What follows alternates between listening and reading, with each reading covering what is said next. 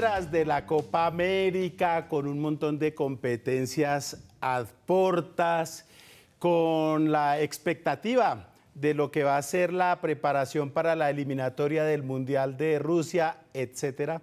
Hemos traído para conversar con él esta noche a la persona pues más autorizada, la que manda la parada en la selección Colombia, nada menos que el presidente de la Federación Colombiana de Fútbol, el doctor Luis Bedoya, a quien le doy la bienvenida. Buenas noches, doctor Bedoya, bienvenido a NSN. Muy buenas noches, Blas, un saludo muy especial y gracias por la invitación.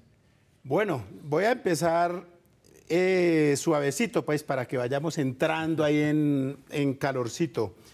¿Cómo están los preparativos de la selección Colombia a portas, sobre todo, pues, de la Copa América que ya se nos viene encima? Yo creo que los temas de Copa América están bien. Nosotros tenemos un cuerpo técnico que en ese sentido le gusta planificar desde antes del sorteo, que se realizarse el sorteo en Viña del Mar, ya se habían visitado sedes, posibilidades de canchas de entrenamiento, de manera que cuando se dio el sorteo se resolvió rápidamente, ya se hicieron las solicitudes a la organización, digamos así, al comité organizador de la Copa América, y estamos a, la, a puertas sencillamente de que ya se se notifiquen o se, o se haga público, digamos, pero ya los sitios de concentración y los sitios de entrenamiento están definidos en Chile. Y el equipo, bueno, los sitios muy bien, las instalaciones, los hoteles, todo buenísimo. ¿Y el equipo? Y el equipo. Mm, el equipo con las dificultades propias que hay cuando las ligas están terminando. ¿Por qué? Porque hay algunos muchachos que se han lesionado, ¿cierto? Otros que están en recuperación.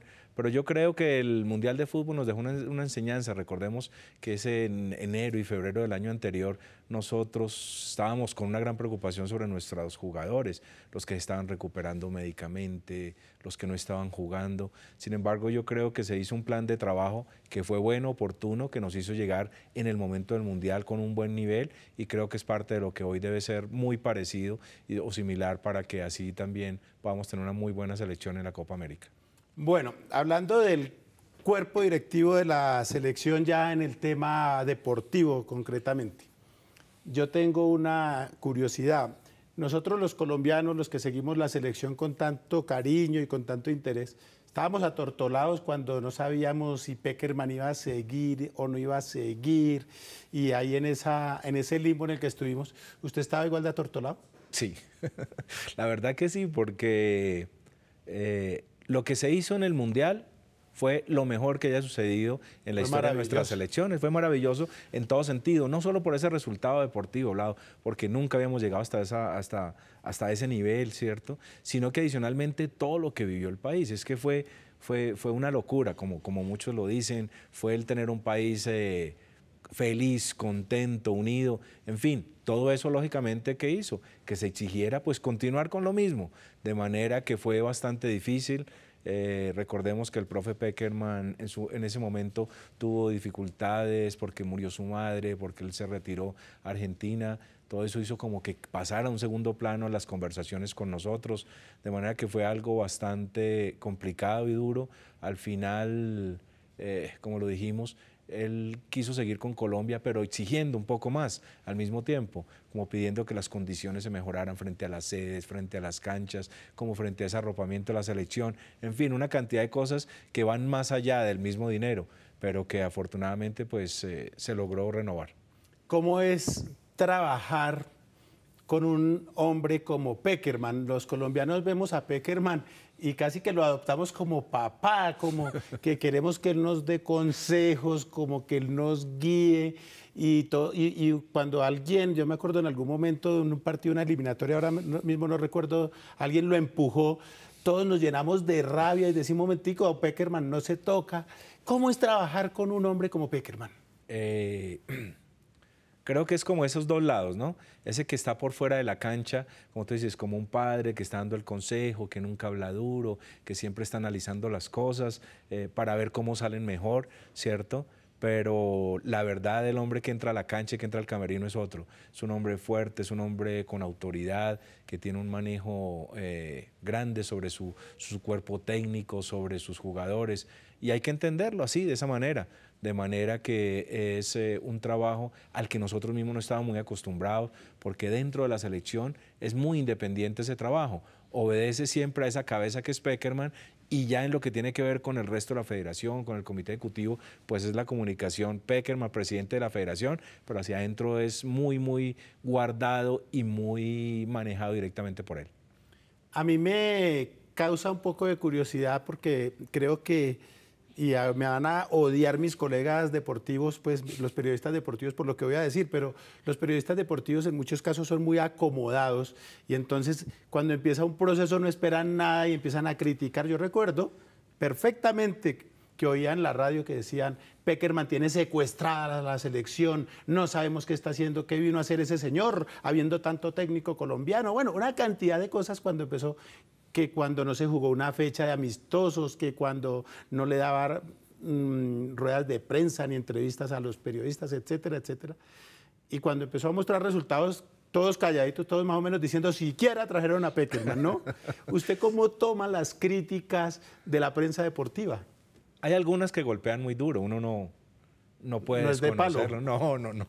Por más que parezca, como dicen que hay que poner cara de palo, no, Hay unas que golpean muy duro. Pero digamos que, que, que, eh, en ese momento fue muy difícil porque, porque cambiaron las cosas, porque la selección se reunió a trabajar hacia adentro, porque no era la selección donde los jugadores estaban ni con los medios, ni con la gente, ni con las familias, porque el profesor Peckerman puso condiciones muy claras de que hablaba antes o después de los partidos en rueda de prensa, porque no da exclusivas, y eso no era lo que nosotros estábamos acostumbrados. Entonces fue muy difícil.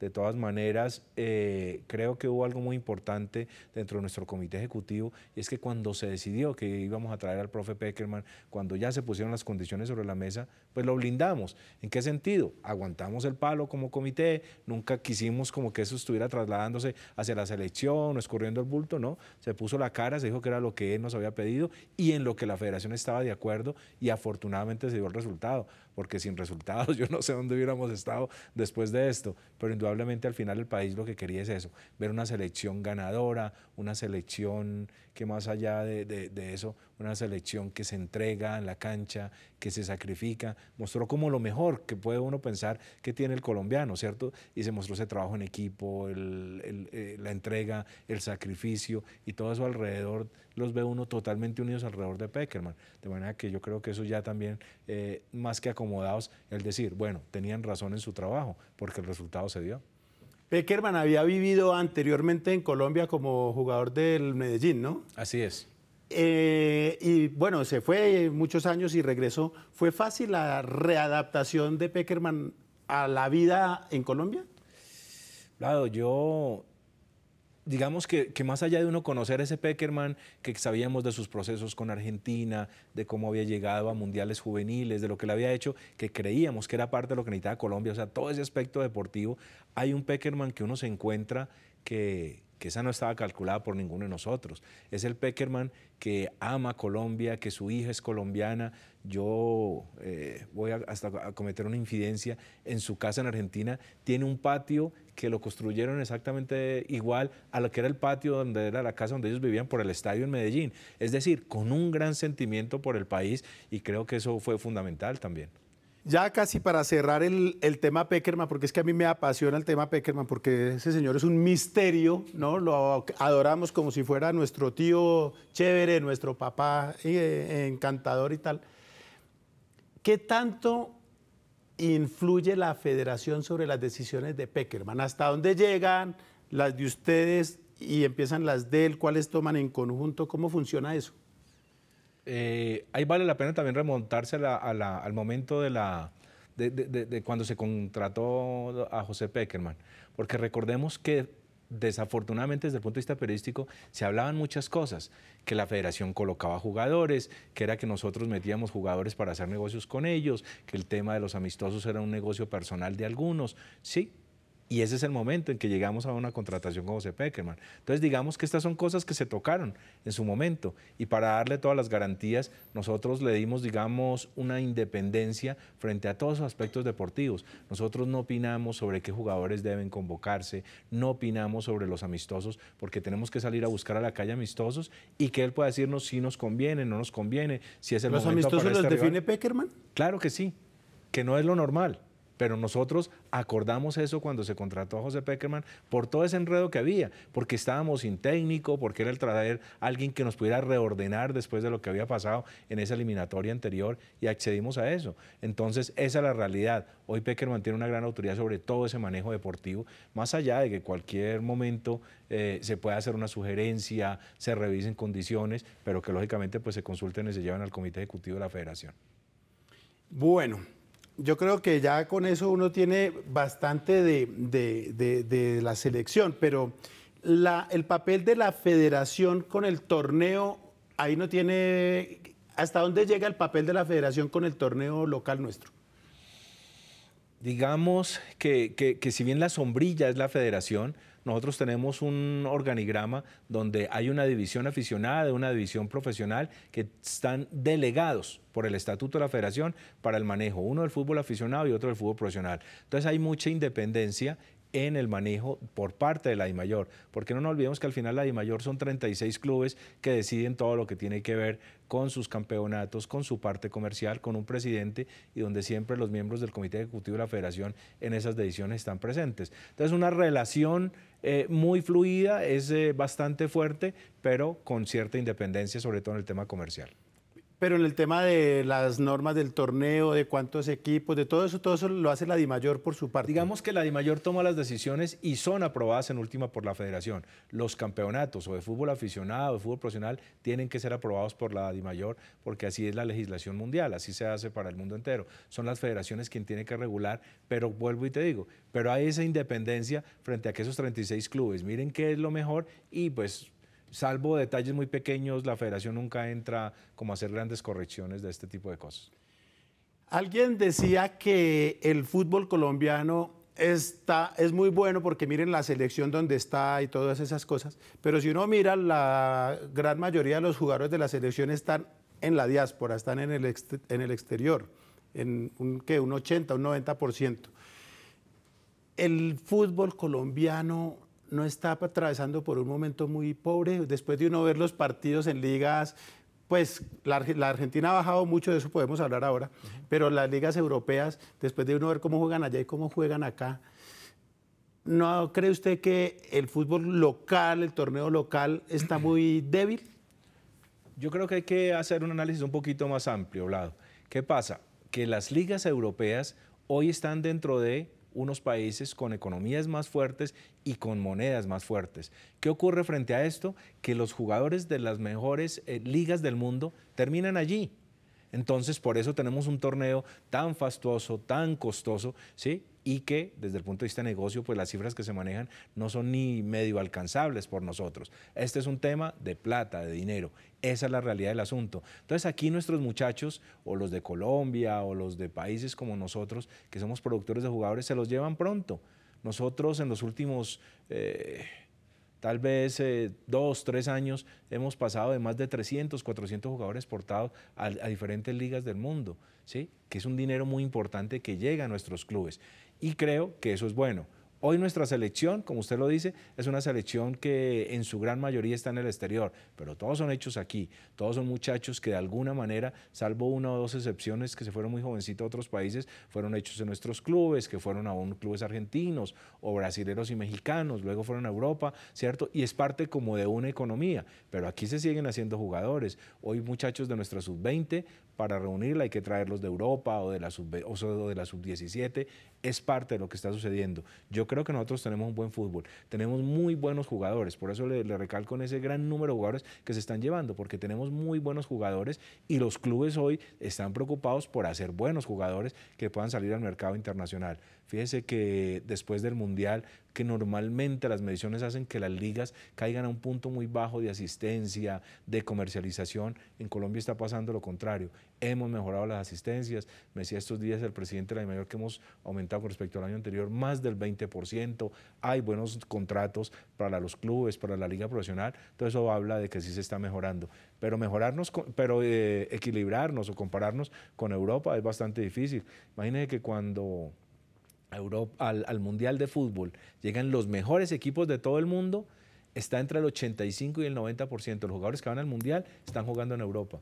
Porque los han recogido el mundo entero. Si bien luego vienen a, representar a nuestros países, son jugadores que están hechos allá porque hay una situación económica muy fuerte que hace que esto sea así. Y no hay manera de hacer que los futbolistas permanezcan acá es decir, porque los sueldos son muy pobres, porque el campeonato es muy pobre. Uno se alegra de que en Millonarios, que sufrimos tanto los hinchas de Millos, que en Millonarios traigan un jugador del exterior, pero es un señor de treinta y pico de años, que sí, que la experiencia y todo, pues sí, chévere, pero uno no ve que haya figuras así y tal, ¿no? Tanto que, que vivimos soñando con traer a otros veteranos que hemos tenido y con eso nos tenemos que contentar uno ve que la competencia en Colombia, el nivel no es tan bueno, no es tan fuerte.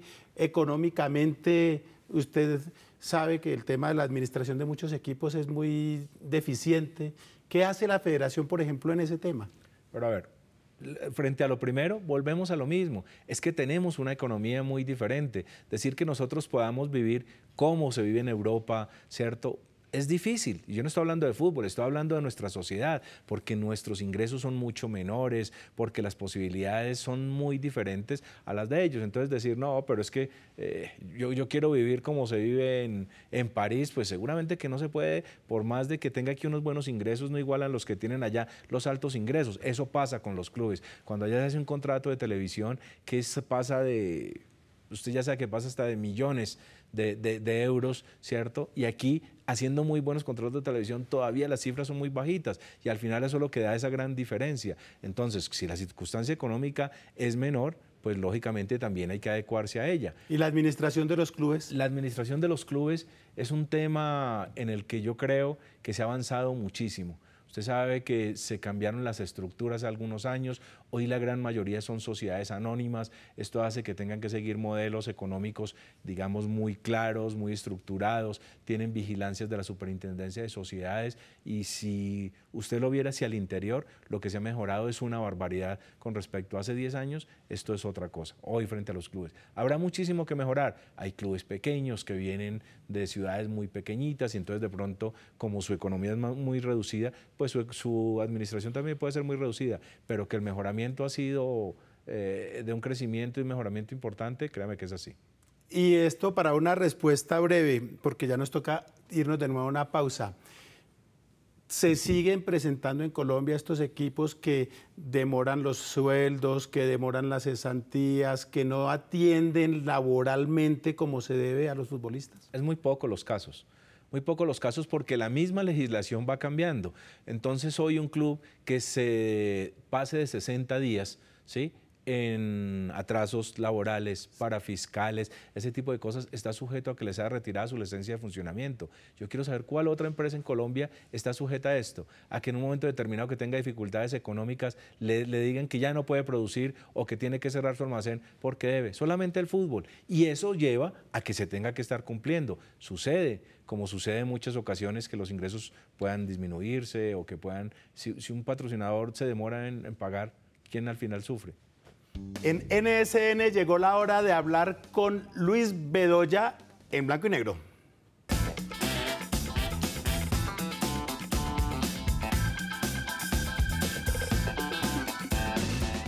¿Bicicleta o metro? Bicicleta. ¿Cine o teatro? Teatro. ¿Frijoles o lentejas? Uy, frijoles. ¿Peñalosa o mocus? Mocus. ¿Solo o acompañado? Acompañado. ¿Chat o teléfono? Chat. ¿Los Beatles o los Rolling Stones? Beatles. ¿Extranjeras o colombianas? Colombianas. ¿Tango o salsa? Tango. ¿Teatro o cine? Cine. ¿Cómplice de su papá o de su mamá? De mi mamá. ¿Barcelona o Real Madrid? Eh, Real. ¿Arriba o abajo? Arriba. ¿Radio o televisión? Televisión. ¿Con luz o sin luz? Con luz. ¿Drama o comedia? Comedia. ¿Tierra fría o caliente? Fría. ¿Diálogo o guerra? Diálogo. ¿El tiempo o semana?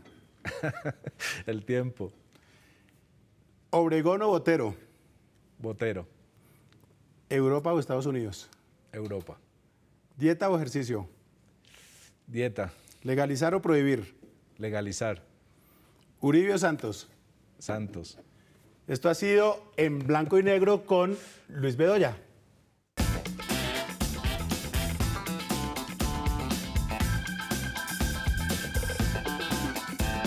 Bueno, no, todavía no hemos acabado. Usted no se, no se me acomode tanto que esto todavía sigue, no, porque yo, yo quiero hacerle unas, otras cuantas preguntas antes de irnos. Mm, el ascenso del Cúcuta Deportivo al Deportes, eh, a la A después de eliminar al Deportes Quindío se produjo en medio de una polémica por la mano del señor Lezaga. La Saga, la perdón. Saga, la Saga. La Saga, el paraguayo. Sí. Que después se disculpó y todas estas cosas. No hay manera de que la Federación Colombiana tome medidas de oficio, acciones, eh, sanciones de oficio para casos como esos. Hay varios casos. El primero es si debe convalidarse un gol que se muestra que es, eh, que es ilegal, ¿correcto? A, frente a la norma de hoy, a lo que el mundo del fútbol exige, nosotros estamos sujetos a que la FIFA y a que 211 países juguemos a lo mismo. No podemos hacerlo. Eso no puede modificarse sencillamente porque la federación crea una norma. Hay un caso que nos acordamos muchísimo de cuando el Tren Valencia jugaba en el Valle, ¿recuerda? De un gol que entró y que no fue convalidado y la Federación Alemana anuló el partido y lo hizo repetir. A los 24 horas tenía una, una, comunicación de FIFA que decía, si usted vuelve a hacer eso, será desafiliado del fútbol mundial. Hay una norma que hay que seguir, por más injusta que sea. Creo que ahí lo que hay es que crear nuevas normas, cambiar las actuales, que sí son viejitas, la verdad, frente a que la tecnología en esos casos especiales, sobre todo frente a una definición, algo tan importante, pueda operar. La segunda es si la saga debía haber sido sancionado. ¿correcto? Y resulta que no está tipificado en el código, entonces ya empezamos a hablar como, como abogados. Esa falta no está tipificado en el ¿Hacer gol con la mano no es una falta? Si lo ven. No por eso, pero, pero, pero, pero, hay, yo sé de federaciones donde sancionan faltas que no fueron vistas por el árbitro. Voy, voy a eso. Cuando una circunstancia de carácter disciplinario no es vista por el árbitro, puede ser revisada por la comisión de disciplina. ¿Qué pasa? Que le pegó un puño, le pegó un codazo, y de esas hemos visto muchas, ¿cierto? Pero son de carácter disciplinario, no la de la acción con la mano, que creo que habría como aplicarse o no, pero para eso hay un tribunal totalmente independiente que consideró que no estaba tipificado. ¿Usted va a fútbol? Sí, señor. Aparte de ver a la selección, tengo entendido que va a ver, al Pereira de vez en cuando. No, hace muchos años que no. Eh, la verdad, cada vez he bajado más de ir un poco a los estadios frente al campeonato por muchas eh, viajes y cosas que tienen que ver con los partidos de selección. Siempre acompaño mis selecciones, porque es que son muchas, ¿no? Nosotros tenemos que ver las niñas, los muchachos, sus 17, sus 20, bueno, todo eso que a veces no se habla, pero que es ese gran contenido que tiene la Federación Colombiana de Fútbol detrás de los muchachos en toda la formación. Y sí, los partidos de Copa Libertadores, algunos aquí los de Bogotá, sobre todo Millonarios Santa Fe, que son los que más fácil queda para ir al Campín. Y de las ligas del exterior, una, ¿cuál es la que usted, la preferida para usted, cuál es? Yo tengo una preferencia grande por la liga alemana, pero más que por el mismo fútbol y muchas cosas, es porque está muy, muy organizada y es un modelo a seguir para cualquier liga del mundo. El modelo de Argentina ese sí no es un modelo a seguir en este momento, ¿no? No, yo creo que no. Yo creo que hay dificultades muchísimo más grandes y serias que tienen sus propios clubes hoy, mucho más que los colombianos. Bueno, doctor Bedoya, pues muchísimas gracias por este repaso de lo que pasa en el fútbol colombiano. Esperamos que la selección Colombia tenga un papel muy destacado en esta Copa América que se viene vísperas de la del año entrante, con eliminatoria, con de todo. Va, a tener trabajito en los próximos meses, ¿no? Hace rato que tenemos bastante trabajito. El fútbol, usted sabe que no tiene descanso. Cuando muchos están descansando es que nosotros estamos trabajando, como dicen de otras profesiones. Pero eh, con un objetivo grande que es estar en Rusia y nuevamente tener una alegría. Bueno, pues mucha suerte a usted y hágame el favor de decirle al doctor Peckerman, al profesor Peckerman, que aquí lo estamos esperando, por si de pronto algún día vaya uno a saber, uno nunca sabe y se anima a venir. Claro que sí, con bueno, muchísimas gracias. Gracias a ustedes.